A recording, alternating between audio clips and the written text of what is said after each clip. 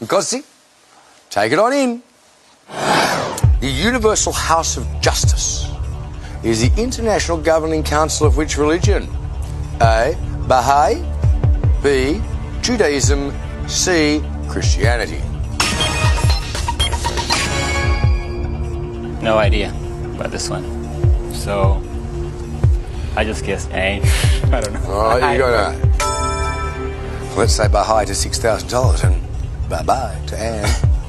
Correct answer Cerise.